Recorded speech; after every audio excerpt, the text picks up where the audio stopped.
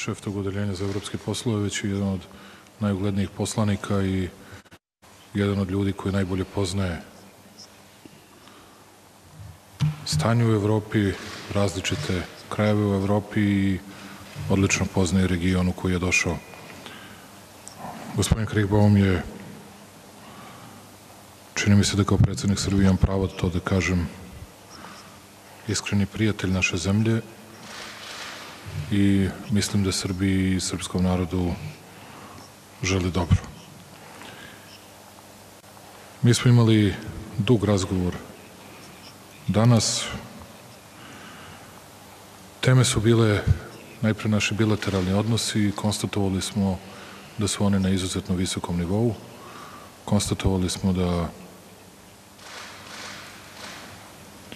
je sve više nemačkih kompanija koje dolaze u Srbiju, da već danas 45.000 ljudi u Srbiji radi u nemačkim kompanijama, da dodatnim reformama, onim što moramo da uradimo u oblasti vladavine prava, možemo da privučemo još veći broj nemačkih investitora.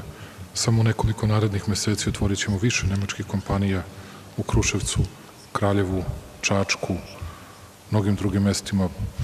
Pančevu ćemo otvoriti radove za CTF kompaniju, dakle, mnogo toga je pred nama i Nemačka je naravno najvažniji spoljnotrgovinski partner Republike Srbije i tu svoju prednost u odnosu na sve ostale Nemačka i Nemačka će uvećavati i sasvim izvesno da u narednih 30 godina niko neće preteći Nemačku kao najznačajnijeg trgovinskog partnera Republike Srbije. To govori o značaju naših odnosa sa Nemačkom, to govori koliko je važno da gradimo najbolje moguće odnose sa Nemačkom.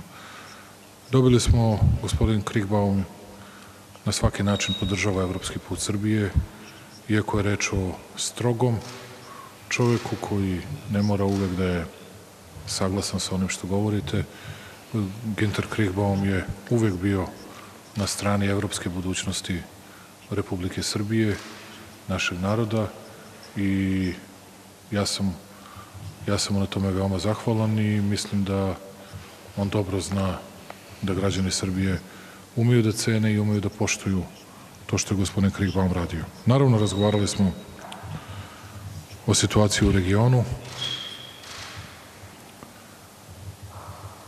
Posebno smo razgovarali o odnosima između Beograda i Prištine, iako smijem da kažem, najveći deo razgovora našeg je bio posvećen odnosima između Beograda i Prištine i da ne ponavljam ono što uvek kažem, ja sam govorio o našem unutrašnjem dijalogu i o tome šta građani Srbije misle, ali sam takođe govorio i o briselskom sporazumu, o obavezama koje smo mi ispunili, o samo jednoj obavezi koju je imala neka druga strana, a nije im palo na pamet da to ispune. I mislim da su to činjenice prosto. I koliko to nama ovde otežava, naročito posle užasnih događaja i brutalnog hapšenja Marka Đurića na severu Kosova. Ali šta da radimo, mi moramo da razgovaramo. Ja sam rekao, ja sam rekao Günteru Krigbaumu, našem prijatelju, da mi želimo da razgovaramo, da želimo kompromis, ali taj kompromis ne može da bude ispunjavanje svih želja albanske strane, a da Srbi moraju da prihvate sve što Albanci žele, jer u protivnom, jer u protivnom oni će biti krivi za slom bilo kakvih razgovora ili pregovora.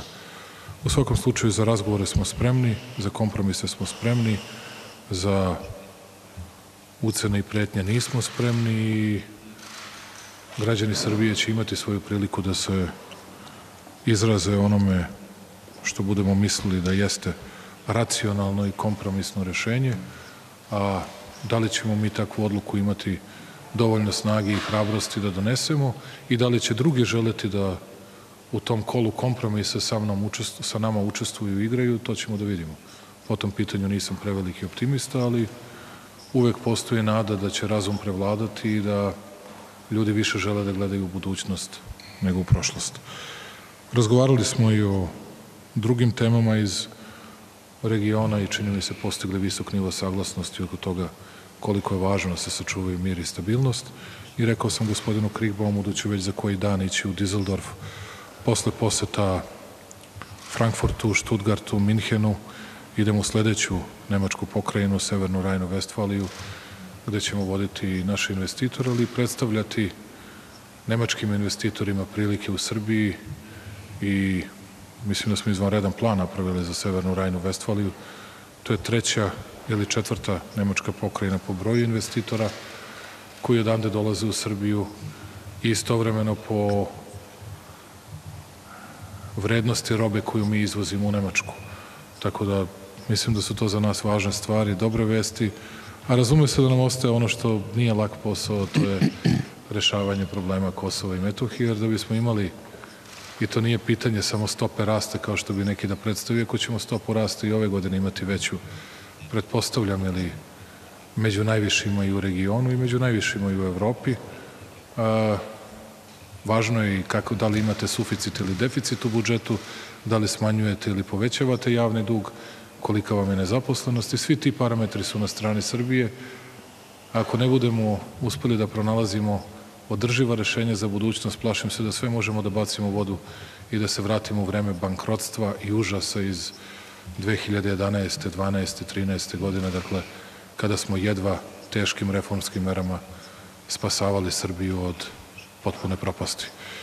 Još jedan put hvala gospodinu Krigbaumu, uvek je dobrodošao u Beograd i Srbiju i ja se nadam da on bar sa malo više optimizma nego ja može da gleda na budućnost i evropsku budućnost Srbije, a ja ono što mogu da obećam to je da, ću, da ćemo se boriti i da ćemo dati sve od sebe da tu budemo i da mi svoj posao uradimo. A sad prilike su malo teže od onoga što obično naši nemački prijatelji misle, ali sve u svemu mi ćemo se boriti za budućnost našeg naroda i reći ću nešto što neretko ponavljam.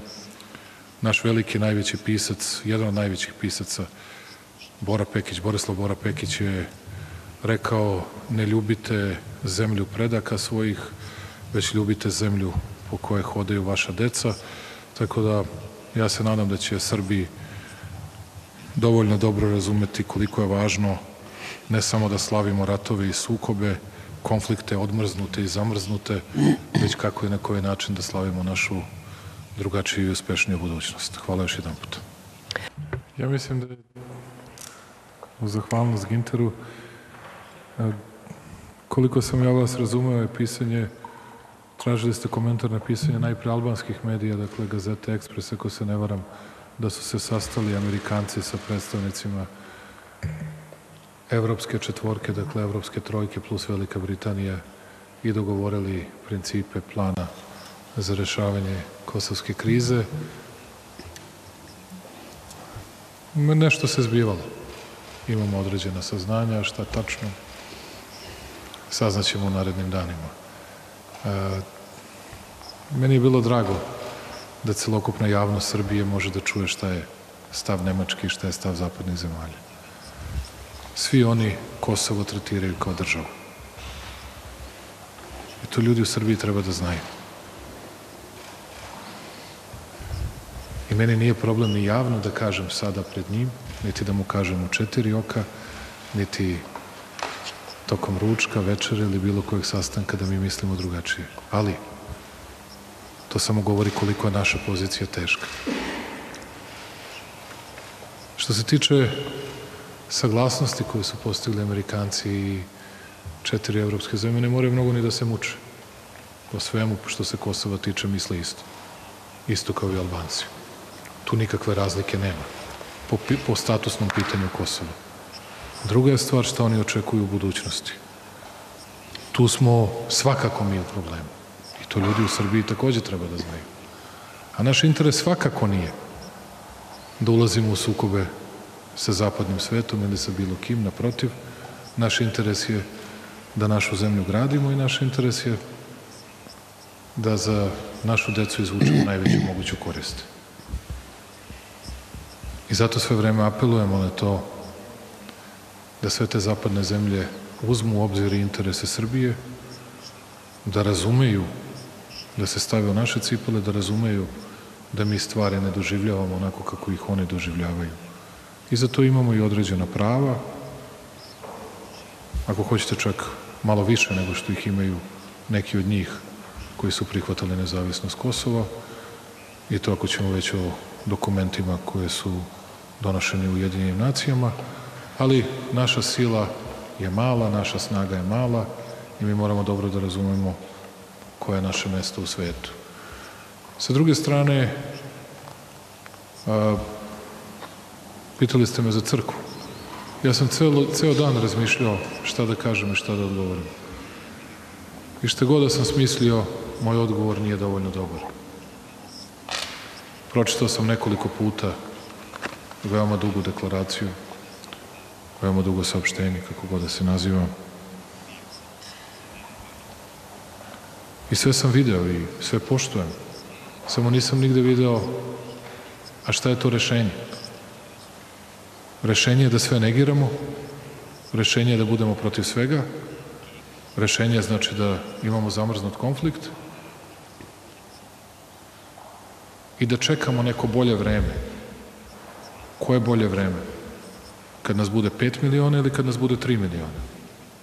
Kad svi odu u inostranstvo i kada izgubimo svoje stanovništvo? Ili neko bolje vreme kada nam svi drugi pobegnu još 50 godina napred?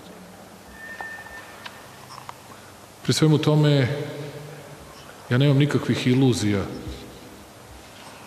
da je moguće da svojom voljom ili da sam svojom željom izguram nešto što građani Srbije neće. Građani Srbije će doneti konačnu odluku o svemu. Ja našu crkvu veoma poštujem. Mislim da ni jedna vlada i ni jedan predsednik, a volao bih da to pitate i patrijarha Irineja, nije toliko pomoglo Srpskoj crkvi,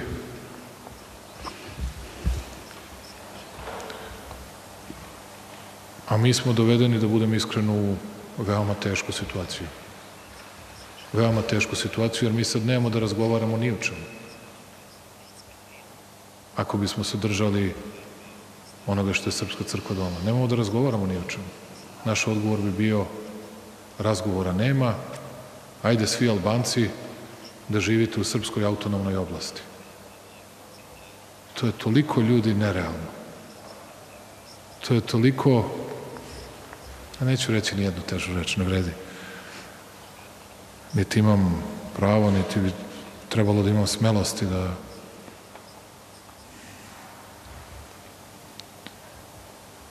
Svi govore o svetoj zemlji, samo niko neće na svetu zemlju da ide da živi.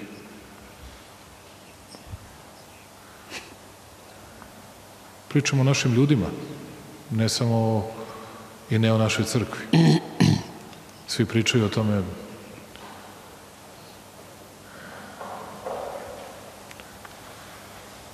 šta je za nas Kosovo, ali to Kosovo je za nas kada treba nekome da udarimo politički šamar, a kada treba konkretnim delom da pokažemo šta je Kosovo za nas, onda uglavnom nije ništa, ili još manje od toga. Nažalost. I ne spadam u tu kategoriju ljudi, za mene Kosovo znači mnogo i zato sam se ovako žestoko borio i zato se ovako žestoko borim. Za razliku od onih koji su danas oduševljenjem prihvatili nešto što je ne nuđenje rešenja, već odbijanje svakog rešenja iz političke sfere, koji su doveli do nezavisnosti Kosova ili proklamovanja takozvane države Kosovo, koji su ćutali sve vreme, borili se za vlast u Beogradu, nikada za svoju zemlju i za svoj narod, pa mi danas drže političke pridike. Što se njih tiče, nemam problem da se sa njima uhvatimo politički koštac bilo kad. A ovo je sad za nas nova okolnost i teška novost i, kako bih vam rekao, ako ćete vi da mi objasnite da ovde među vama ima bilo ko ko će da ide da živi u Štimlje ili u Glogovac, pokažite mi tog u Srbiji. Pokažite mi tog jednog Srbina koji će da ide tamo. Posebno ono koji će decu da povede. Pa kad mi ga pokažete, onda mi solite pamet i držite predavanja o svemu tome. Bilo ko od vas novinar, bilo ko. A ovako,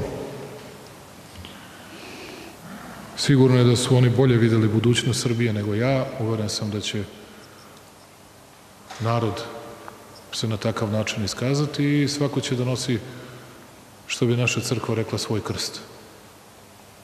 Neko danas, a neko u budućnosti. Još ste me nešto pitali za penzije. Za penzije, da. I Rusija.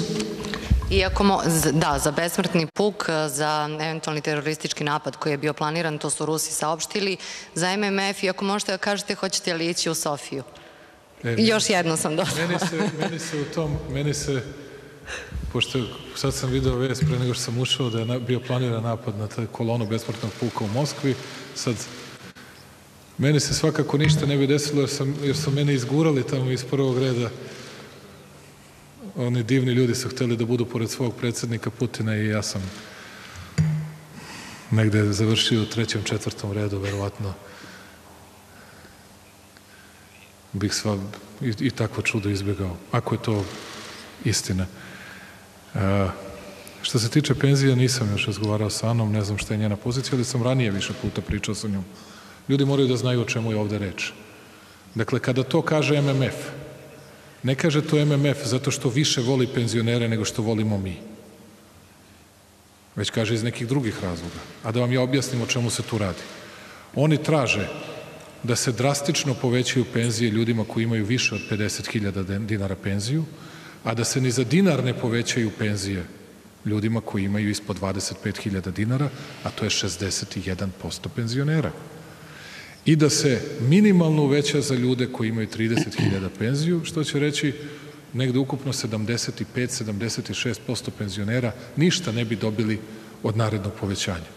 Ja sam uvek za zaštitu najsiromašnijih, ali vidjet ćemo kako će vlada da odluči, može da se napravi neka kombinacija u tome, da uradimo jedno i drugo, ali vidjet ćemo kakvi će efekti našeg suficita u budžetu, našeg privrednog rasta biti za tri meseca, pa će onda biti lakše da se tako nešto komentariše.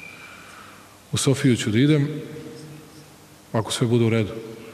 Ko zna, svaki dan izađe neka nova deklaracija, daleko je to, imamo nekoliko dana. Znam da utorak idemo u Dizeldorf, a iz Dizeldorfa bi valjda trebalo u Sofiju. Valjda ćemo ići. Valjda će biti sve u redu. I šta je još bilo pitanje?